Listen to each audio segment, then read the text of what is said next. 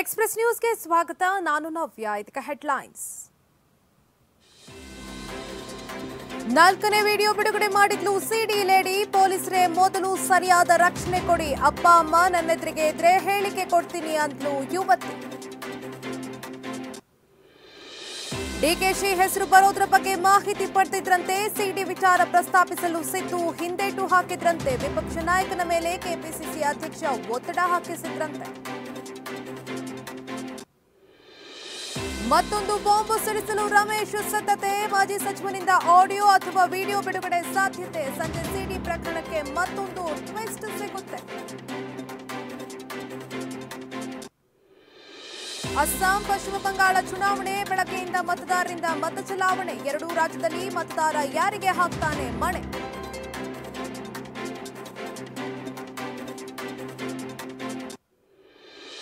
ಧಾರವಾಡ ನಗರದಲ್ಲಿ ನಡೆಸ್ತಾ ಇದ್ರು ವೇಶ್ಯಾವಾಟಿಕೆನ ಹುಬ್ಬಳ್ಳಿ, ಧಾರವಾಡ ಸಿಸಿಪಿ ಪೊಲೀಸರು ನಡೆಸಿದ್ರು ದಾಳಿ ಐವರು ಯುವಕರು, ನಾಲ್ವರು ಯುವತಿಯರ ಬಂಧನ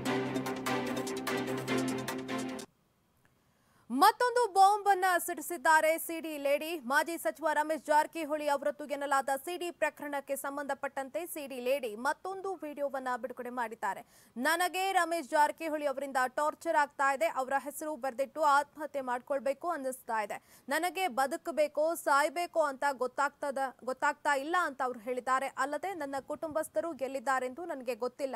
ಅವರ ತಲೆ ತೆಗೆಯೋಕ್ಕೂ ರಮೇಶ್ ಜಾರಕಿಹೊಳಿ ಹಿಂಜರಿಯೋದಿಲ್ಲ ಅವರಿಗೆ ರಕ್ಷಣೆ ನೀಡಿ ಅಂತ ಸಂತ್ರಸ್ತ ಯುವತಿ ಮನವಿಯನ್ನ ಮಾಡಿದ್ದಾರೆ. ಇನ್ನು ನಾನು ಡಿಕೆಶಿ ಭೇಟಿಗೆ ತೆರಳಿದ್ದು ನಿಜ, ಆದರೆ ಅವರನ್ನ ಭೇಟಿಯಾಗೋದಕ್ಕೆ ಸಾಧ್ಯವಾಗಿಲ್ಲ ಎಂದಿದ್ದಾರೆ. ನನ್ನ ಅಪ್ಪ, ಅಮ್ಮ, ತಮ್ಮಂದಿರು, ಅಜ್ಜಿಯನ್ನ ಬೆಂಗಳೂರಿಗೆ ಕರೆದುಕೊಂಡು ಬಂದು ರಕ್ಷಣೆ ಕೊಡಿ. ಅವರ ಎದುರೆ ನಾನು ಎಸ್ಐಟಿ ಮುಂದೆ ಹಾಜರಾಗ್ತೀನಿ. ಅವರನ್ನ ಕರೆತಂದ್ರೆ ಮಾತ್ರ ನಾನು ಹೇಳಿಕೆ ನೀಡ್ತೀನಿ ಎಂದು ಆ ಯುವತಿ ಹೇಳಿದ್ದಾರೆ. ನಿನ್ನೆ ರಮೇಶ್ ಜಾರಕಿಹೊಳಿ ವಿರುದ್ಧ ಕಬ್ಬನ್ ಪಾರ್ಕ್ನಲ್ಲಿ ದೂರನ್ನ ದಾಖಲಿಸಿರುವಂತಹ ಯುವತಿಯ ಕೇಸ್ ಇಂದು ಎಸ್ಐಟಿಗೆ ವರ್ಗಾವಣೆಯಾಗುವಂತಹ ಸಾಧ್ಯತೆ ಇದೆ. ಈಗಾಗಲೇ ರಮೇಶ್ ಜಾರಕಿಹೊಳಿ ನೀಡಿರುವ ದೂರಿನ ತನಿಖೆ ನಡೆಸ್ತಾ ಇರುವಂತಹ ಎಸ್ಐಟಿಗೆ ಈ ಯುವತಿಯ ದೂರು ಕೂಡ ವರ್ಗಾವಣೆಯಾಗುವಂತಹ ಸಾಧ್ಯತೆ ಇದೆ.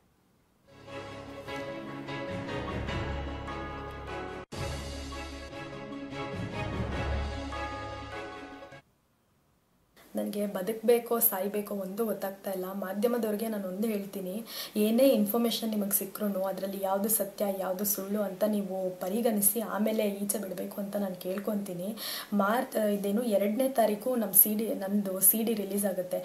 ಆದ ದಿನ ನನಗೆ ಏನು ಮಾಡಬೇಕು, ಎಲ್ಲಿಗೆ ಹೋಗಬೇಕು, ಯಾಕಪ್ಪ ಯಾರು ಇದನ್ನು ಮಾಡಿದ್ದು ಅಂತ ಒಂದು ಇದು ಐಡಿಯಾ ಕೂಡ ಇರಲಿಲ್ಲ. ನಾನು ಭಯ ಭಯದಲ್ಲಿ ನಾನು ಮಾಧ್ಯಮದಲ್ಲೆಲ್ಲ ಬರ್ತಿತ್ತಲ್ಲ, ಆ ಒಂದೇ ಒಂದು ಕಾರಣದಿಂದ ನಾನೇನು ಮಾಡಿದೆ ನನಗೆ ಮಾಧ್ಯಮದಲ್ಲಿ ಗೊತ್ತಿದ್ದಿದ್ದು ನರೇಶ್ ನರೇಶ್ ಅನ್ನೋರು. ನಾನು ನರೇಶ್ ನನಗೆ ಫೋನ್ ಮಾಡಿದೆ, ಮಾಡಿಬಿಟ್ಟು ಅಣ್ಣ ಹಿಂಗಿಂಗೆಲ್ಲ ಬರ್ತಾ ಇದೆ. ಏನನ್ನ ಇದೆಲ್ಲ ನಾನು ನಿಮಗೆ ಮುಂಚೆನೇ ಹೇಳಿದೆ, ನೀವು ನ್ಯಾಯ ಕೊಡಿಸ್ತೀನಿ ಅಂದಿದ್ರಿ, ನೋಡಿ ಇವಾಗೆಲ್ಲ ಹಿಂಗೆ ಆಗಿಬಿಡುತ್ತೋ ನಾನು ಏನು ಮಾಡಲಿ ಅಣ್ಣ ಇವಾಗ ಅಂತ ಅಂದರು, ಅಂತ ನಾನು ಅಂದೆ. ಅದಕ್ಕೆ ಅಣ್ಣ ಅಂತಂದರು, ತಲೆ ಕೆಡಿಸ್ಕೊಳ್ಬೇಡ. ನಾನು ತುಂಬ ಚಿಕ್ಕವನು ಈ ವಿಷಯದಲ್ಲಿ, ಇದೆಲ್ಲ ತುಂಬ ಪೊಲಿಟಿಕಲ್ ಸಪೋರ್ಟ್ ಬೇಕಾಗುತ್ತೆ ಇದಕ್ಕೆ. ನಾವು ಹೋಗ್ಬಿಟ್ಟು ದೊಡ್ಡ ದೊಡ್ಡ ಲೀಡರ್ಸ್ ಹತ್ರ ಮಾತಾಡೋಣ. ಸಿದ್ದರಾಮಯ್ಯನವ್ರ ಹತ್ರ ಇಲ್ಲಾಂದರೆ ಡಿ ಕೆ ಶಿವಕುಮಾರ್ ಅವ್ರ ಹತ್ರ ಇಬ್ಬರ ಹತ್ರನೂ ಮಾತಾಡೋಣ. ನಿನಗೆ ನ್ಯಾಯ ಸಿಗುತ್ತೆ, ತಲೆ ಕೆಡಿಸ್ಕೊಳ್ಬೇಡ ನೀನು ಅಂತ ನನಗವ್ರು ಧೈರ್ಯ ಹೇಳಿದ್ರು. ಅದಕ್ಕೆ ನಾನು, ಸರಿ ಅಣ್ಣ, ಇವಾಗ ಏನು ಮಾಡಲಿ ನಾನು ಅಂತ ಕೇಳಿದೆ. ನೀನು ಎಲ್ಲಿದೆಯಾ ಹೇಳು, ನಾನು ಅಲ್ಲಿ ಪಿಕ್ ಮಾಡ್ತೀನಿ ನಿನ್ನನ್ನು. ನನಗಿರೋ ಕಾಂಟ್ಯಾಕ್ಟ್ಸ್ನ ಬಳಸ್ಕೊಂಡು ನಾನು ಯಾರನ್ನಾದರೂ ಕಾಂಟ್ಯಾಕ್ಟ್ ಮಾಡೋಕ್ಕೆ ಟ್ರೈ ಮಾಡ್ತೀನಿ ಅಂತ ಅಣ್ಣ ಹೇಳಿದ್ರು. ನಾನು ಇರೋ ಪ್ಲೇಸ್ ಹೇಳಿದೆ, ಅಣ್ಣ ಅಲ್ಲಿಗೆ ಬಂದರು. ಬಂದುಬಿಟ್ಟು ಅವ್ರು ಹೇಳ್ತಾರೆ ನನಗೆ ನಾವು ಇವಾಗ ಡಿ ಕೆ ಶಿವಕುಮಾರ್ ಸರ್ ಅವ್ರ ಮನೆ ಹತ್ರ ಹೋಗೋಣ ಅಂತ ಅಂದರು. ಅದಕ್ಕೆ ನಾನು ಅವಾಗ ನಮ್ಮ ಮನೆಯಿಂದ ಫೋನ್ ಮೇಲೆ ಫೋನ್ ಬರ್ತಾನೆ ಇತ್ತು. ನಾನು ನಮ್ಮ ಮಮ್ಮಿಗೆ ಫೋನ್ ಮಾಡಿದೆ. ನಮ್ಮ ಮನೇಲೆಲ್ಲ ಯಾವ ಲೆವೆಲ್ ಹೆದರ್ಕೊಂಡಿದ್ರು ಅಂದರೆ ನಮ್ಮ ಅಪ್ಪ, ಅಮ್ಮ ಹತ್ಕೊಂಡೆಲ್ಲ ಮಾತಾಡ್ತಾ ಇದ್ದಾರೆ ನನ್ನ ಹತ್ರ. ಸೊ ನಾನು ನಮ್ಮ ಅಮ್ಮಿಗೆ ಕನ್ವಿನ್ಸ್ ಮಾಡೋಕ್ಕೆ ಟ್ರೈ ಮಾಡಿದೆ. ಮಮ್ಮಿ, ಹಾಗೆಲ್ಲ ಏನೂ ಇಲ್ಲ. ತಲೆ ಕೆಡಿಸ್ಕೊಳ್ಬೇಡ. ನಾನೇನು ಮಾಡಿಲ್ಲ ಅಂತ ತುಂಬಾ ಕನ್ವಿನ್ಸ್ ಮಾಡಿದೆ. ಅವ್ರು ಅಳೋದು ನೋಡಿಬಿಟ್ಟು ನನಗೆ ಭಯ ಆಗ್ತಾಯಿತ್ತು ಅವ್ರು ಏನಾದ್ರು ಮಾಡ್ಕೊಂಡು ಬಿಡ್ತಾರೆ ಜೀವಕ್ಕೆ ಅಂತ. ಅದಕ್ಕೆ ನಾನು ಅವರಿಗೆ ತುಂಬಾ ಕನ್ವಿನ್ಸ್ ಮಾಡಿ ಇನ್ನು ನಾನು ಇವಾಗ ಡಿ ಕೆ ಶಿವಕುಮಾರ್ ಮನೆ ಹತ್ರ ಹೋಗ್ತಾ ಇದ್ದೀನಿ. ಮಮ್ಮಿ, ನಾನು ಅವ್ರ ಹತ್ರ ಎಲ್ಲ ಮಾತಾಡ್ಕೊಂಡು ಬರ್ತೀನಿ. ನೀನು ತಲೆ ಕೆಡಿಸ್ಕೊಳ್ಬೇಡ ಅಂತ ನಾನು ಹೇಳಿದೆ. ಅವತ್ತು ನಾವು ಹೋದ್ವಿ. ಅಲ್ಲೇ ಅವರು ನಮಗೆ ಸಿಗಲಿಲ್ಲ. ಅಷ್ಟೊತ್ತರಲ್ಲಿ ಏನೇನೋ ಆಗಿಬಿಟ್ಟಿತ್ತು. ನಾನು ಅಲ್ಲಿಂದ ಹೊರಡಬೇಕಾಯ್ತು. ಆಮೇಲೆ ನನಗೆ ಇವಾಗ ಅನ್ನಿಸ್ತಾ ಇದೆ, ನಮ್ಮ ಅಪ್ಪ, ಅಮ್ಮ ಎಲ್ಲಿದ್ದಾರೆ ನನಗೆ ಗೊತ್ತು. ಆಡಿಯೋ ಕ್ಲಿಪ್ಪು ಎಲ್ಲಿಂದ ಅವರಿಗೆ ಸಿಕ್ತು ಅಂತ ನನಗೆ ಗೊತ್ತಿಲ್ಲ. ಈ ಆಡಿಯೋ ಕ್ಲಿಪ್ಪು ಈಚೆ ಬಂದಿರೋದು ನೋಡ್ತಾ ಇದ್ರೆ ನಮ್ಮ ಅಪ್ಪ, ಅಮ್ಮನಿಗೆ ಒಂದು ಪರ್ಸೆಂಟು ಸೇಫ್ಟಿ ಇಲ್ಲ ಅಂತ ನನಗೆ ಅನ್ನಿಸ್ತಾ ಇದೆ. ನಾನು ಸೇಫಾಗೇ ಇದ್ದೀನಿ, ನನ್ನನ್ನು ಯಾರೂ ಕಿಡ್ನಾಪ್ ಮಾಡಿಲ್ಲ. ನಾನು ನಮ್ಮ ಅಪ್ಪ, ಅಮ್ಮನ, ಅಪ್ಪ, ಅಮ್ಮ ಎಲ್ಲಿದ್ದಾರೋ ನನಗೆ ಗೊತ್ತಿಲ್ಲ. ನಾನು ಎಸ್ ಐ ಟಿ ಅವ್ರಿಗೆ ಇಷ್ಟೇ ಕೇಳ್ಕೊಳ್ಳೋದು ಏನಪ್ಪ ಅಂತಂದರೆ ನೀವು ಹೇಳ್ತಾನೆ ಇದ್ದೀರಾ, ನಾವು ರಕ್ಷಣೆ ಕೊಡ್ತೀವಿ ರಕ್ಷಣೆ ಕೊಡ್ತೀವಿ ಅಂತ? ಸರಿ ಸರ್, ರಕ್ಷಣೆ ಕೊಡ್ತಾನೆ ಇದ್ದೀರಾ? ನಮ್ಮ ಅಪ್ಪ ಅಮ್ಮನಿಗೆ ಎಲ್ಲಿದ್ದಾರೋ ಅಲ್ಲಿ ಹೋಗ್ಬಿಟ್ಟು ರಕ್ಷಣೆ ಕೊಡಬೇಡಿ. ಅವ್ರು ಎಲ್ಲಿದ್ದಾರೋ ಅವ್ರನ್ನ ಬೆಂಗಳೂರಿಗೆ ಕರೆ ತನ್ನಿ ನಾನು ನಮ್ಮ ಮಮ್ಮಿ, ಡ್ಯಾಡಿ, ನಮ್ಮ ಅಜ್ಜಿ ನನ್ನ ಇಬ್ಬರು ತಮ್ಮಂದ್ರಿಗೂ ನಾನು ಇಷ್ಟೇ ಕೇಳ್ಕೊಳ್ಳೋದು ಅವ್ರು ಎಲ್ಲಿದ್ದಾರೋ ನನಗೆ ಗೊತ್ತಿಲ್ಲ. ಅವ್ರು ಎಲ್ಲೇ ಇರಲಿ. ಬಂದ್ಬಿಟ್ಟು ಬೆಂಗಳೂರಲ್ಲಿ ಇರಕ್ ಇರಕ್ಕೆ ಹೇಳು ಅಂತ ಹೇ ಇರಕ್ಕೆ ಇರಬೇಕು ಅಂತ ನಾನು ಕೇಳ್ಕೊತೀನಿ. ನಾನು ಇಷ್ಟು ಎಸ್ ಐ ಟಿ ಅವ್ರಿಗೆ ಕೇಳ್ಕೊತೀನಿ. ನನಗೆ ಈ ಇಪ್ಪತ್ನಾಲ್ಕು ದಿನದಿಂದ ಎಷ್ಟು ಟಾರ್ಚರ್ ಆಗ್ತಾ ಇದೆ ಅಂದರೆ ಏನು ಮಾಡಬೇಕು? ನಾನು ಏನೋ ಒಂದು ಹೇಳಕ್ಕೆ ಏನೋ ಒಂದು ಆಗುತ್ತೆ. ಅದು ಇನ್ನೇನೋ ಒಂದು ರಿವರ್ಸ್ ಥರನೇ ನಮಗೆ ಇವಾಗ ಆಗ್ತಾ ಇರೋದು. ನನಗೆ ಏನು ಮಾಡಬೇಕು ಅಂತ ಒಂದು ಗೊತ್ತಾಗ್ತಾ ಇಲ್ಲ. ನನಗೆ ಆ ಇಪ್ಪತ್ನಾಲ್ಕು ದಿನದಿಂದ ನಾನು ಎಷ್ಟು ಕಷ್ಟ ಬೀಳ್ತಾ ಇದ್ದೀನಿ, ಏನೇನು ಇದೆ ನನ್ನ ಮಾನ ಮರ್ಯಾದೆ ಹೋಗಿದೆ, ನಾನೊಂದು ಸಂತ್ರಸ್ತೆ ಆಗಿರೋದ್ರಿಂದ ನೀವು ನನಗೆ ನ್ಯಾಯ ಕೊಡಿಸ್ಬೇಕು, ನ್ಯಾಯ ಕೊಡಿಸ್ತೀರಾ ಅಂತ ನಾನು ಅಂದ್ಕೊಂಡಿದ್ದೀನಿ ಅದೆಲ್ಲ ಬಿಟ್ಟು ಏನೇನು? ಇನ್ನು ಈ ಬಗ್ಗೆ ಇನ್ನಷ್ಟು ಅಪ್ಡೇಟ್ಸ್ ನಾನು ನೀಡೋದಕ್ಕೆ ನಮ್ಮ ಜೊತೆ ದೂರವಾಣಿ ಸಂಪರ್ಕದಲ್ಲಿದ್ದಾರೆ ನಮ್ಮ ಪ್ರತಿನಿಧಿ ರಾಜೇಶ್. ರಾಜೇಶ್ ನಿನ್ನೆ ಯುವತಿಯೊಂದು ವಿಡಿಯೋವನ್ನ ಬಿಡುಗಡೆ ಮಾಡಿದ್ರು. ಮೂರನೇ ವಿಡಿಯೋವನ್ನ ಬಿಡುಗಡೆ ಮಾಡಿದ್ರು. ಆ ಬಳಿಕ ನಾನು ರಮೇಶ್ ಜಾರಕಿಹೊಳಿ ವಿರುದ್ಧ ದೂರನ್ನ ಕೊಡ್ತೀನಿ ಅಂತ ಹೇಳಿದ್ರು. ಅದರಂತೆ ದೂರು ಕೂಡ ದಾಖಲಾಯಿತು. ಸಂಜೆ ಆಗ್ತಾ ಇದ್ದಂತೆ ಆಡಿಯೋ ಒಂದು ಭಾರಿ ಸದ್ದು ಮಾಡ್ತು. ಈ ಒಂದು ಆಡಿಯೋದಲ್ಲಿ ಯುವತಿ ಡಿ ಕೆ ಅವರ ಹೆಸರನ್ನ ಪ್ರಸ್ತಾಪ ಮಾಡ್ತಾರೆ. ತನ್ನ ಪೇರೆಂಟ್ಸ್ ಜೊತೆ ಮಾತನಾಡ್ತಾ ಇದ್ದಂತಹ ಸಂದರ್ಭದಲ್ಲಿ. ಹಾಗಾಗಿ ಈ ಪ್ರಕರಣದಲ್ಲಿ ಬಹಳ ದಿನದಿಂದ ಒಬ್ರು ಮಹಾನಾಯಕರು ಈ ಪ್ರಕರಣದ ಹಿಂದೆ ಇದ್ದಾರೆ ಅನ್ನೋ ಮಾತುಗಳು ಚರ್ಚೆ ಆಗ್ತಾನೆ ಇದೆ. ಹಾಗಾದ್ರೆ ಆ ಮಹಾನಾಯಕರು ಡಿ ಕೆ ಶಿ ಅವರ ಅನ್ನೋ ಅನುಮಾನ ಕೂಡ ಇದೀಗ ದಟ್ಟವಾಗ್ತಾ ಇದೆಯಲ್ವಾ ಅಂತ? ಹೌದು ನವ್ಯ, ಯಾಕಂದ್ರೆ ಇವತ್ತಿಗೆ ಇದು ನಾಲ್ಕನೇ ವಿಡಿಯೋ ಇವತ್ತಿ ರಿಲೀಸ್ ಮಾಡಿದಂತದ್ದು ಯಾಕಂದ್ರೆ ನಿನ್ನೆ ರಿಲೀಸ್ ಮಾಡಿದಂತ ವಿಡಿಯೋದಲ್ಲಿ ನನಗೆ ರಕ್ಷಣೆ ಇಲ್ಲ ಮತ್ತು ನನ್ನ ತಂದೆ ತಾಯಿಗೆ ರಕ್ಷಣೆ ಇಲ್ಲ. ಹಾಗಾಗಿ ಈ ವಿಡಿಯೋ ನಾವು ಮಾಡ್ತಾ ಇದ್ದೀನಿ ಜೊತೆಗೆ ಇವತ್ತು ಅವರ ವಕೀಲರಾದಂತಹ ಜಗದೀಶ್ ಅವರ ಮೂಲಕ ಒಂದು ಏನು ಕಂಪ್ಲೇಂಟ್ ಅನ್ನ ಕೂಡ ಕೊಡ್ತೀನಿ ಅಂತ ಹೇಳಿದ್ರು. ಅದೇ ರೀತಿ ನಿನ್ನೆ ಸಂಜೆ, ಅಂದ್ರೆ ಅವ್ರೇನ್ ಕಮಿಷನರ್ ಆಫೀಸ್ಗೆ ಕೊಡೋದಕ್ಕೆ ಹೋಗಿದ್ರು, ಅದಕ್ಕೂ ಮುಂಚೆ ಲಾಲ್ ಬಾಗಿಗೆ ಹೋಗಿ ಈ ಒಂದು ಕಂಪ್ಲೇಂಟ್ ಕೂಡ ಕೊಟ್ಟಿದ್ರು. ಅದಾದ್ಮೇಲೆ ಬಂದಂತ ಒಂದು ಆಡಿಯೋ ಈಗ ದೊಡ್ಡ ಗೊಂದಲಕ್ಕೆ ಸೃಷ್ಟಿ ಮಾಡ್ತಾ ಇದೆ. ಯಾಕಂದ್ರೆ ಆಡಿಯೋದಲ್ಲಿ ಆಕೆ ತನ್ನ ತಮ್ಮನ ಹತ್ರ ಮಾತಾಡಿರ್ತಾಳೆ, ಈ ವಿಡಿಯೋ ನಂದಲ್ಲ, ಇದೆಲ್ಲ ಗ್ರಾಫಿಕ್ ಮಾಡಿರೋದು, ಹಾಗಾಗಿ ಇದ್ರ ಬಗ್ಗೆ ನಂಗೆ ಏನು ಗೊತ್ತಿಲ್ಲ. ಯಾಕಂದ್ರೆ ಇದ್ರ ಬಗ್ಗೆ ನಂಗೆ ಏನು ಗೊತ್ತಿಲ್ಲ. ಯಾಕಂದ್ರೆ ಇದಕ್ಕೂ ಮುಂಚೆ ಅವ್ರು ಹೇಳ್ತಾರೆ ಆಡಿಯೋದಲ್ಲಿ ಒಂದ್ ಮಾತು ಕೂಡ ಹೇಳ್ತಾರೆ, ನರೇಶ್ ಅಣ್ಣನ ಹತ್ರ ನಾನು ಇದ್ರ ಬಗ್ಗೆ ಮಾತಾಡಿದ್ದೆ.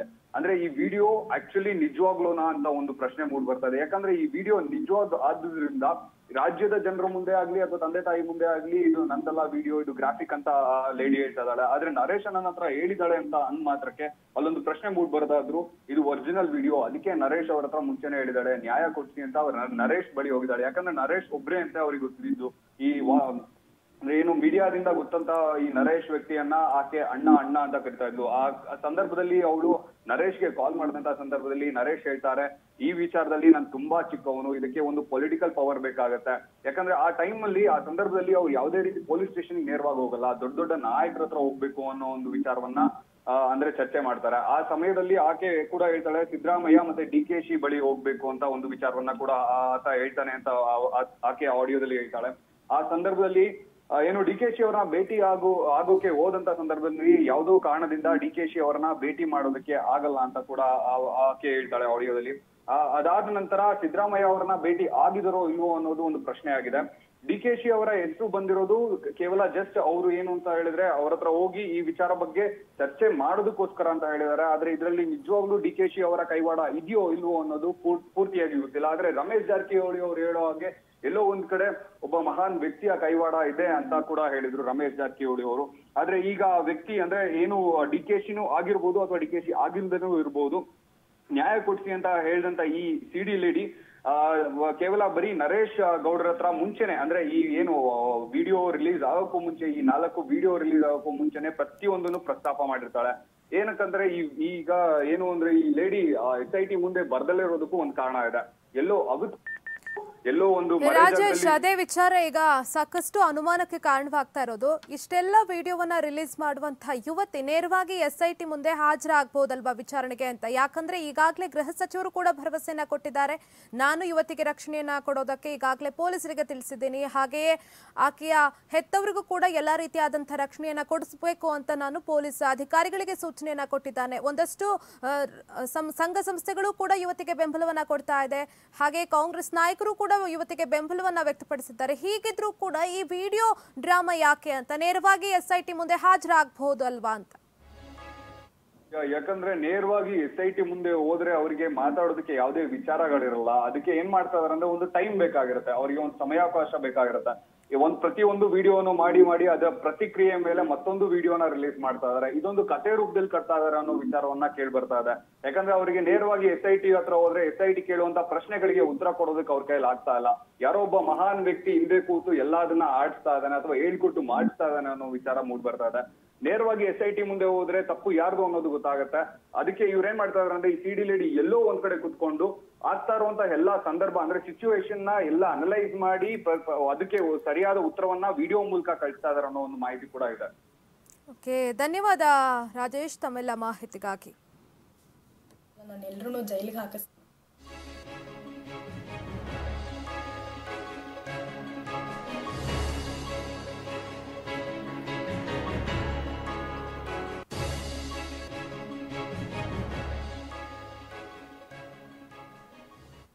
ಇನ್ನು ಸಿಡಿ ರಿಲೀಸ್ ಪ್ರಕರಣಕ್ಕೆ ಸಂಬಂಧಪಟ್ಟಂತೆ ಮಾಜಿ ಸಚಿವ ರಮೇಶ್ ಜಾರಕಿಹೊಳಿ ಇವತ್ತು ಮಹತ್ವದ ಮಾಹಿತಿಯನ್ನ ನೀಡ್ತೀನಿ. ಆಕೆಯ ಆರೋಪಿಗಳಿಗೆಲ್ಲ ಆರೋಪ ಏನ್ ಮಾಡಿದ್ದಾಳೆ, ಅದೆಲ್ಲದಕ್ಕೂ ಕೂಡ ಸಂಜೆ ಉತ್ತರವನ್ನ ಕೊಡ್ತೀನಿ ಅಂತ ಹೇಳಿರೋದು ತೀವ್ರ ಕುತೂಹಲಕ್ಕೆ ಕಾರಣವಾಗಿದೆ. ಜಾರಕಿಹೊಳಿ ಸಿಡಿ ಪ್ರಕರಣ ದಿನದಿಂದ ದಿನಕ್ಕೆ ಹೊಸ ತಿರುವನ್ನ ಪಡಿತಾ ಇದೆ. ಅಜ್ಞಾತವಾಗಿದ್ದುಕೊಂಡೇ ಸಿಡಿ ಯುವತಿ ರಮೇಶ್ ಜಾರಕಿಹೊಳಿ ಆರೋಪಗಳಿಗೆ ವಿಡಿಯೋ ಮೂಲಕ ಸಂದೇಶವನ್ನ ರವಾನಿಸ್ತಾ ಇದ್ದಾರೆ. ಆಕೆ ತನ್ನ ಮನೆಯವರೊಂದಿಗೆ ಮಾತನಾಡಿದಂತ ಆಡಿಯೋವೊಂದು ನಿನ್ನೆ ಸಂಜೆ ಲೀಕ್ ಆಗಿತ್ತು. ಅದರಲ್ಲಿ ಆಕೆ ಡಿಕೆ ಶಿವಕುಮಾರ್ ಅವರ ಹೆಸರನ್ನ ಪ್ರಸ್ತಾಪಿಸಿದ್ದು ಇನ್ನಷ್ಟು ಚರ್ಚೆಗೆ ಇದೀಗ ಕಾರಣವಾಗಿರೋದು. ಇಂದು ಮತ್ತೊಂದು ಬಾಂಬ್ ಅನ್ನ ಸ್ಫೋಟಿಸುವುದಕ್ಕೆ ರಮೇಶ್ ಜಾರಕಿಹೊಳಿ ಸಿದ್ಧತೆಯನ್ನ ನಡೆಸಿದ್ದಾರೆ ಅಂತ ಹೇಳಲಾಗ್ತಾ ಇದೆ. ಇಂದು ಸಂಜೆ ನಾಲ್ಕರಿಂದ ಆರು ಗಂಟೆ ಒಳಗೆ ವಿಡಿಯೋ ಅಥವಾ ಆಡಿಯೋ ಬಿಡುಗಡೆ ಮಾಡ್ತೀನಿ ಅಂತ ನಿನ್ನೆ ಒಂದು ಕ್ಲೂ ಅನ್ನ ಕೊಟ್ಟಿದ್ದಾರೆ ರಮೇಶ್ ಜಾರಕಿಹೊಳಿ. ನಾನು ಇದೆಲ್ಲವನ್ನ ಮೊದಲೇ ಊಹಿಸಿದ್ದೆ. ಇಂದಿನಿಂದ ನನ್ನ ಅಸ್ತ್ರ, ಆಟ ಶುರುವಾಗಲಿದೆ. ಈ ಪ್ರಕರಣದಲ್ಲಿ ನನ್ನ ತಪ್ಪಿದ್ರೆ ನನ್ನನ್ನ ನೇಣಿಗೇರಿಸಲಿ ಅಂತ ರಮೇಶ್ ಜಾರಕಿಹೊಳಿ ನಿನ್ನೆ ಸಂಜೆ ಒಂದು ರಿಯಾಕ್ಷನ್ ಅನ್ನು ಕೊಟ್ಟಿದ್ದಾರೆ.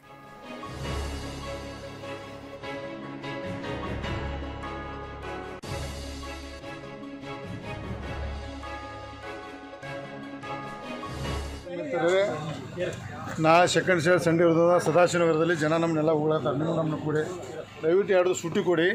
ನಾಳೆ ನಾನು ಇವತ್ತು ಏನು ಮಾತಾಡೋದಿಲ್ಲ ನಾನು ಏನೂ ಮಾತಾಡಲ್ಲ ನಾಳೆ ನಾಲ್ಕರಿಂದ ಆರು ಗಂಟೆ ಇನ್ನೂ ದೊಡ್ಡ ಪ್ರಮಾಣ ಹೇಳ್ತೀನಿ. ಅಲ್ಲಿವರೆಗೆ ನಮ್ಮ ಲಾಯರ್ ಏನು ಮಾತಾಡೋ ಅಂದರೆ ನಾಳೆ ನಾಲ್ಕು ಗಂಟೆ ಆರು ಗಂಟೆ ಇನ್ನೂ ದೊಡ್ಡ ಪ್ರಮಾಣದ ಸುದ್ದಿಯನ್ನು ತಮ್ಗೆ ಹೇಳ್ತೀನಿ. ಗೊತ್ತಿಲ್ಲಪ್ಪ ಆಡಿಯೋ ನಾನು ನೋಡಿ ನೀವು ಟಿವಿ ನೋಡಿದೆ. ನಾ ಹೇಳಿದ್ದ ಹೆಣ್ಮಗ ಹೆಣ್- ಹೆಣ್ಮಗು ಮಗು ಗ್ರಾಫಿಕ್ಕು ನಂದಲ್ಲ ಇಂಥ ಇಂಥ ಅವರು ನಾ ಯಾರು ಹೆಸರು ತೊಗೊಂಡಿಲ್ಲ. ನಾನು ನನಗೂ ಅಷ್ಟೇ. ನನಗೆ ಇನ್ನು ನಾಳೆ ನಾಲ್ಕರಿಂದ ಸಂಜೆ ಆರು ಒಳಗೆ ಇನ್ನೂ ದೊಡ್ಡ ಪ್ರಮಾಣ ಹೇಳ್ತೀನಿ. ಇನ್ನು ಭಾಳ ಆಡಿಯೋದಲ್ಲಿ ಇವಾಗ ಅಂತ ಹೇಳಿದ್ರಿ. ಸರ್, ಮಹಾನಾಯಕ ಅಂತ ನೀವು ಹೇಳಿದ್ರಿ. ನಾನು ಇನ್ನು ಹೇಳೋದಿಲ್ಲ. ಅವಾಗ ನಮ್ಮ ಹಳೆಯ ಗೆಳೆಯ. ಯಾರು ಸರ್? ಡಿ ಕೆ ಶಿವಕುಮಾರ್ ಹಳೆಯ ಗೆಳೆಯ. ಅವನು ಕೆ ಪಿ ಸದ್ಯ ಕಂಟಿನ್ಯೂ ಆಗಬೇಕು. ನನಗತ್ತೆ ಒಂದು ರಾಜ್ಯ ಕೊಡಬಾರ್ದು ಅವ್ನು ಒಳ್ಳೇದಾಗಬೇಕು. ಕಷ್ಟ ಸುಖ ಕೂಡಿ ನನಗೋ ನನಗೊಬ್ಬ ಅನ್ಯಾಯ ಮಾಡಿದ್ರೆ ಅವ್ರು ಅನ್ಯಾಯ ಆಗೋದು ನನಗೆ ಯಾಕೆ ಒಂದು ಆಡಿಯೋ ಹೆಸರಾಗಿತ್ತು ಇಮಿಡಿಯೇಟ್ ಅವರು ಆರೋಪ ಅಂತ ಹೇಳಕ್ಕೆ ಬರೋಲ್ಲ. ಆಡಿಯೋದಲ್ಲಿ ಬಂದು ಇಮಿಡ್ ಡಿ ಕೆ ಶಿವಕುಮಾರ್ ಆರೋಪ ಅಂತ ಹೇಳಕ್ಕೆ ಬರೋಲ್ಲ. ಇನ್ನೂ ಸ್ಟಡಿ ಮಾಡಿ ಭಾಳಷ್ಟು ಎವಿಡೆನ್ಸ್ ನೋಡಿ ಮುಂದೆ ನೋಡೋಣ. ಡಿ ಕೆ ಶಿವಕುಮಾರ್ ಬಲಿಗೆ ಭಾಳ ಪ್ರೀತಿ ಇದೆಯಲ್ಲ ಯಾಕೆ? ಹೌದು ನನ್ನ ಗೆಳೆಯ ಅವ್ನು ಕಷ್ಟ ಸುಖ ಕೂಡಿ ಬಂದಾರ ನಾವು ಕೆಟ್ಟಗಳಿಗೆ ಒಂದು ಏನೋ ಕೆಟ್ಟಗಳಿಗೆ ಕೆಟ್ಟಾಗಿದ್ದೀವಿ.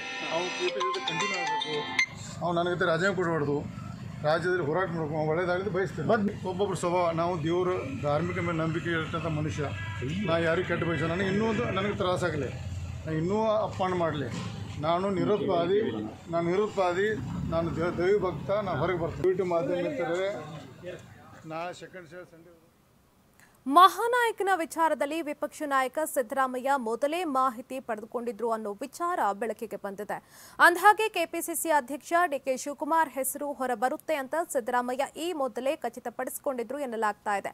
ಅಲ್ಲದೆ ಒಂದಲ್ಲ ಒಂದು ಸಂದರ್ಭದಲ್ಲಿ ಡಿಕೆಶಿ ಹೆಸರು ಹೊರಬರುತ್ತದೆ ಎಂಬ ಮಾಹಿತಿ ಪಡೆದಿದ್ರಂತೆ, ಜೊತೆಗೆ ಇದರ ಖಚಿತ ಮಾಹಿತಿ ಪಡೆದುಕೊಂಡಿದ್ದ ಕಾಂಗ್ರೆಸ್ ಹಿರಿಯ ನಾಯಕರು. ಇದೇ ಕಾರಣಕ್ಕೆ ಸದನದಲ್ಲಿ ವಿಚಾರ ಪ್ರಸ್ತಾಪಕ್ಕೆ ಹಿಂದೇಟು ಹಾಕಿದ್ರು ಅನ್ನೋ ಮಾಹಿತಿ ಹೊರಬಿದ್ದಿದೆ. ಹೀಗಾಗಿಯೇ ಸದನದಲ್ಲಿ ಸಿಡಿ ವಿಚಾರ ಪ್ರಸ್ತಾಪಿಸಲು ಪಕ್ಷದ ನಾಯಕರು ಹಾಗೂ ಸಿದ್ದರಾಮಯ್ಯ ಹಿಂದೇಟು ಹಾಕಿದ್ರಂತೆ.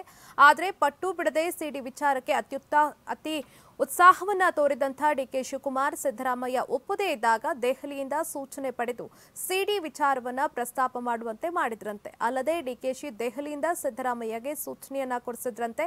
ಆ ಬಳಿಕವೇ ಸಿದ್ದರಾಮಯ್ಯ ಸದನದಲ್ಲಿ ಸಿಡಿ ವಿಚಾರ ಪ್ರಸ್ತಾಪ ಮಾಡಿದ್ರು ಅಂತ ತಿಳಿದು ಬಂದಿದೆ.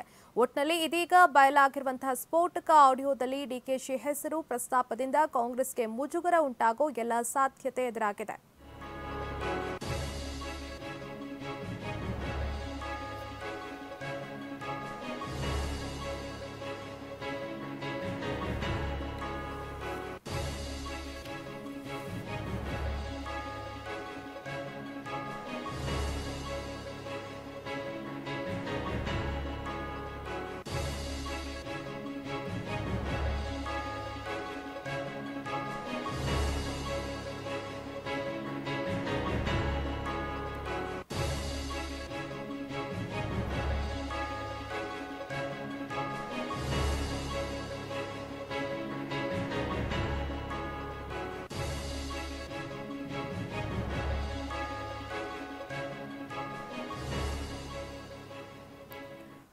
ಅಸ್ಸಾಂ ವಿಧಾನಸಭಾ ಚುನಾವಣೆಯ ಮೊದಲ ಹಂತದ ಚುನಾವಣೆ ಇಂದು ನಡೀತಾ ಇದೆ. ಈಗಾಗಲೇ ಮತದಾನ ಪ್ರಕ್ರಿಯೆ ಆರಂಭವಾಗಿದೆ. ಸದ್ಯ ಮೊದಲ ಹಂತದಲ್ಲಿ ಹನ್ನೆರಡು ಜಿಲ್ಲೆಗಳ ನಲವತ್ತ ಏಳು ಕ್ಷೇತ್ರಗಳಿಗೆ ಮತದಾನ ನಡೀತಾ ಇದೆ. ಬೆಳಗ್ಗೆ ಎಂಟರಿಂದಲೇ ಮತದಾನ ಮಾಡೋದಕ್ಕೆ ಮತಗಟ್ಟೆಗೆ ಮತದಾರರು ಆಗಮಿಸಿದ್ದಾರೆ. ಇನ್ನು ಮೊದಲ ಹಂತದಲ್ಲಿ ಎಂಬತ್ತ ಒಂದು ಲಕ್ಷ ಅರ್ಹ ಮತದಾರರು ಮತ ಚಲಾವಣೆಗೆ ಅರ್ಹರಿದ್ದು, ಮತದಾನಕ್ಕಾಗಿ ಹನ್ನೊಂದು ಸಾವಿರದ ಐನೂರ ಮೂವತ್ತ ಏಳು ಮತಗಟ್ಟೆಗಳಲ್ಲಿ ಅವಕಾಶವನ್ನು ಕಲ್ಪಿಸಲಾಗಿದೆ.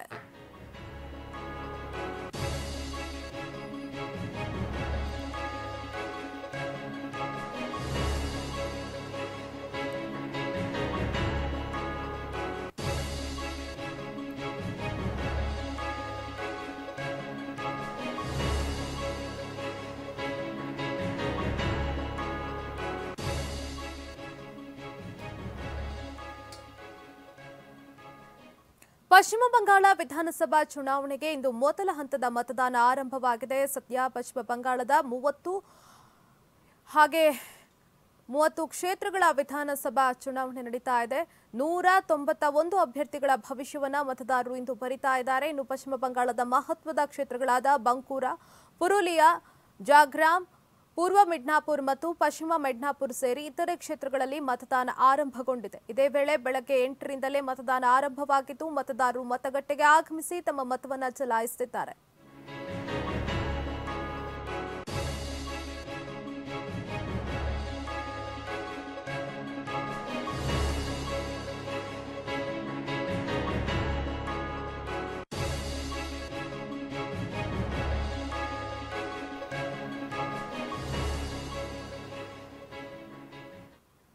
ಧಾರವಾಡ ನಗರದಲ್ಲಿ ವೇಶ್ಯಾವಾಟಿಕೆ ನಡೆಸ್ತಾ ಇದ್ದ ಮನೆ ಮೇಲೆ ಹುಬ್ಬಳ್ಳಿ, ಧಾರವಾಡ ಸಿಸಿಬಿ ಪೊಲೀಸರು ದಾಳಿಯನ್ನು ನಡೆಸಿದ್ದಾರೆ. ದಾಳಿಯಲ್ಲಿ ಐವರು ಯುವಕರು, ನಾಲ್ವರು ಯುವತಿಯರ ಬಂಧನವಾಗಿದೆ. ಸದ್ಯ ಬಂಧಿತ ನಾಲ್ವರು ಯುವತಿಯರು ನೇಪಾಳ ಮೂಲದವರು ಎಂಬ ಮಾಹಿತಿ ದೊರೆತಿದೆ. ವೇಶ್ಯಾವಾಟಿಕೆ ಸಂಬಂಧ ಧಾರವಾಡದಲ್ಲಿ ನೆಲೆಸಿದ್ರು ಅಂತ ತಿಳಿದು ಬಂದಿದೆ. ಈ ಸಂಬಂಧ ಉಪನಗರ ಪೊಲೀಸ್ ಠಾಣೆಯಲ್ಲಿ ಪ್ರಕರಣ ದಾಖಲಾಗಿದೆ.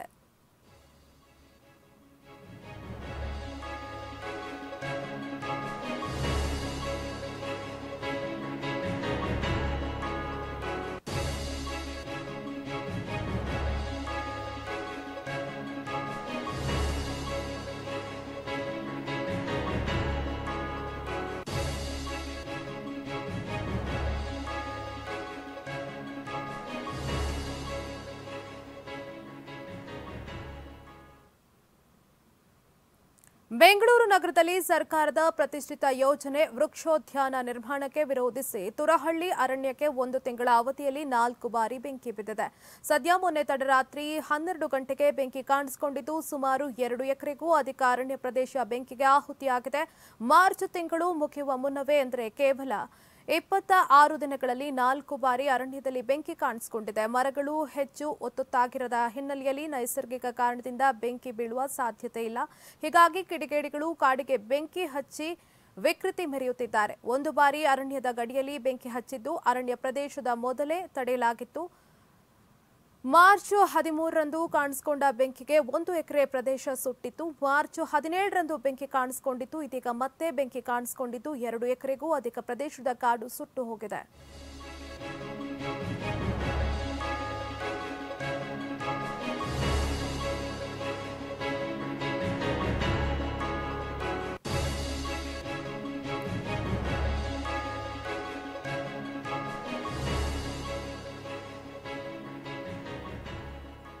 ಲೋಕೋಪಯೋಗಿ ಇಲಾಖೆ ಅಧಿಕಾರಿಗಳ ಜಿಲ್ಲಾ ಮಟ್ಟದ ಸಭೆಯಲ್ಲಿ ಅಧಿಕಾರಿಗಳಿಗೆ ಸಂಸದ ಎಸ್ ಮುನಿಸ್ವಾಮಿ ಅವಾಚ್ಯ ಶಬ್ದಗಳಿಂದ ನಿಂದಿಸಿದ್ದಾರೆ ಅನ್ನೋ ಆರೋಪ ಕೇಳಿಬಂದಿದೆ ಕೋಲಾರ ನಗರದ ಹೊರವಲಯದಲ್ಲಿರುವಂತಹ ಗಾಜಲದಿನ್ನೆ ವಸತಿ ಗೃಹದಲ್ಲಿ ಇಂದು ಬೆಳಗ್ಗೆ ಈ ಘಟನೆ ನಡೆದಿದೆ ಎನ್ನಲಾಗಿದೆ.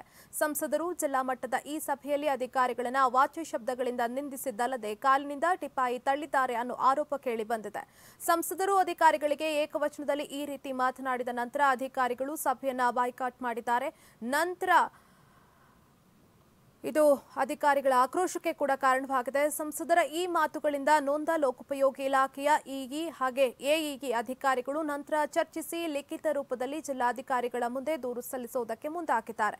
ಬಂಗಾರಪೇಟೆ ವಿಧಾನಸಭಾ ಕ್ಷೇತ್ರದಲ್ಲಿ ಎಸ್ಸಿಪಿ, ಟಿಎಸ್ಟಿ ಕಾಮಗಾರಿಗಳ ಉದ್ಘಾಟನಾ ಕಾರ್ಯಕ್ರಮಕ್ಕೆ ಸಂಸದರನ್ನು ಆಹ್ವಾನ ಮಾಡಿರಲಿಲ್ಲ. ಇದೇ ಕೋಪಕ್ಕೆ ಅಧಿಕಾರಿಗಳನ್ನು ವಾಚ್ಯ ಶಬ್ದಗಳಿಂದ ನಿಂದಿಸಿದ್ದಾರೆ ಅನ್ನೋ ಆರೋಪ ಕೇಳಿಬಂದಿದೆ ಮೇಲೇನು ಮೂರು ಗಂಟೆಗೆ ಬಂದು ಮೂರು ಗಂಟೆವರೆಗೆ ಅಲ್ಲೇ ಭೇಟಿ ಆಗಿದ್ದೆ ಒಂದು, ಅದೇ ಪೂಜೆಗಳು ಕ- ನಮ್ಮನ್ನು ಕರೆದಿಲ್ಲ ಅಂತ ನಾವು ಯಾವುದೇ ಪೂಜೆಗಳು ಮಾಡಿಲ್ಲ.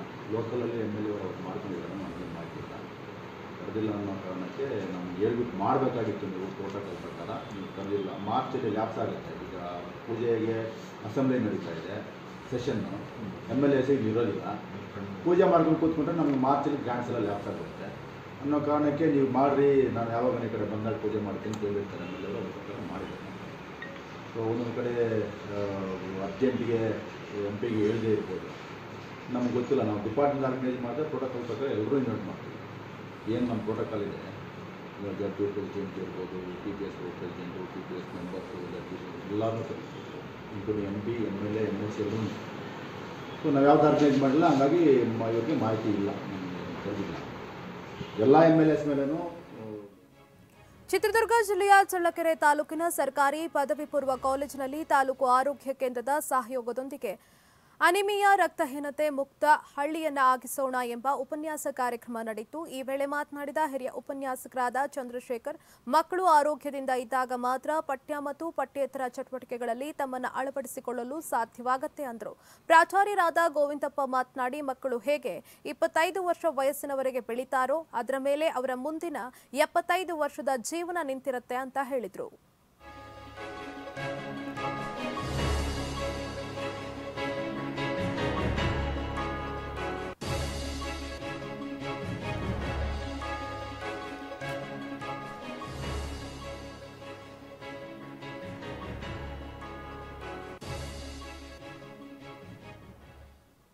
ಚಳ್ಳಕೆರೆ ಜಾತ್ರೆ ದೊಡ್ಡ ರಥೋತ್ಸವಕ್ಕೆ ಕಳಶ ಪ್ರತಿಷ್ಠಾಪನೆ ಮಾಡಿದ ಮೇಲೆ ರಥೋತ್ಸವ ನಡೆಯಬೇಕು ಎನ್ನುವ ಪದ್ಧತಿ ಪುರಾತನ ಕಾಲದಿಂದ ನಡೆದುಕೊಂಡು ಬಂದಿದೆ. ಆದರೆ ಜಿಲ್ಲಾಡಳಿತ ಅಡ್ಡಿಪಡಿಸ್ತಾ ಇರೋದು ಸರಿಯಲ್ಲ ಅಂತ ಎತ್ತಿನಹಟ್ಟಿ ಜಿಎಂ ತಿಪ್ಪೇಸ್ವಾಮಿ ಹೇಳಿದ್ದಾರೆ. ಚಿತ್ರದುರ್ಗದ ಚಳ್ಳಕೆರೆ ತಾಲೂಕಿನ ನಾಯಕನಹಟ್ಟಿಯಲ್ಲಿ ಮಾರ್ಚ್ ಇಪ್ಪತ್ತ ಒಂಬತ್ತರಂದು ರಥೋತ್ಸವಕ್ಕೆ ಸಿದ್ಧತೆ ನಡೆದಿತ್ತು. ಆದರೆ ರಾಜ್ಯದಲ್ಲಿ ಕೊರೋನಾ ಎರಡನೇ ಅಲೆ ಹಬ್ತಾ ಇರುವ ಹಿನ್ನೆಲೆಯಲ್ಲಿ ಸಾರ್ವಜನಿಕರ ಹಿತದೃಷ್ಟಿಯಿಂದ ಈ ಬಾರಿಯ ಜಾತ್ರೆಗೆ ಭಕ್ತಾದಿಗಳಿಗೆ ನಿರ್ಬಂಧ ಹೇರಿದೆ. ಅಲ್ಲದೆ ದೊಡ್ಡ ರಥೋತ್ಸವದ ತೇರು ಎಳೆಯೋದಿಲ್ಲ ಎಂಬ ಜಿಲ್ಲಾಡಳಿತ ಆದೇಶವನ್ನ ಹೊರಡಿಸಿದೆ. ಇದಕ್ಕೆ ಪ್ರತಿಕ್ರಿಯೆ ನೀಡಿದ ತಿಪ್ಪೇಸ್ವಾಮಿ, ರಾಜ್ಯದ ಎರಡನೇ ಅತಿ ದೊಡ್ಡ ನಾಯಕನಹಟ್ಟಿ ತಿಪ್ಪೇಸ್ವಾಮಿ ರಥೋತ್ಸವ ಸರ್ಕಾರದ ಆದೇಶ ನಾವು ಪಾಲಿಸುತ್ತೇವೆ ನಮ್ಮ ಸಂಪ್ರದಾಯ ಸರ್ಕಾರ ಪರಿಗಣಿಸಬೇಕು. ನಮ್ಮ ನಂಬಿಕೆ, ಭಕ್ತರ ಹರಕೆಗಳಿಗೆ ಹಾಗೂ ಭಾಗಸ್ಥರ ಹಕ್ಕುಗಳಿಗೆ ಜಿಲ್ಲಾಡಳಿತ ಮನ್ನಣೆಯನ್ನ ನೀಡಬೇಕು. ಒಂದು ಬಾರಿ ಕಳಶ ಕೂರಿಸಿದ್ರೆ ತೇರು ಹರಿಯಲೇಬೇಕು, ಜಾತ್ರೆ ನಡೆಯಲೇಬೇಕು. ಈ ಹಿನ್ನೆಲೆಯಲ್ಲಿ ಹೊರ ಜಿಲ್ಲೆಗಳ ಭಕ್ತಾದಿಗಳಿಗೆ ಅನುವು ಮಾಡಿಕೊಡದೆ ಸ್ಥಳೀಯ ಭಕ್ತಾದಿಗಳಿಗೆ ರಥ ಎಳೆಯಲು ಅವಕಾಶ ನೀಡಿ ರಥೋತ್ಸವ ನಡೆಸಬೇಕು ಅಂತ ಒತ್ತಾಯಿಸಿದ್ದಾರೆ.